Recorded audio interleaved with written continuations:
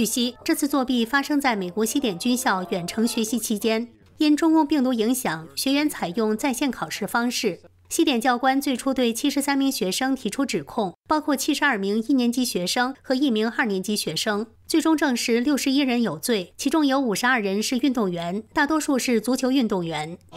不准留在西点军校的作弊学员在校期间处于缓刑状态也就是表现不好仍可能被开除。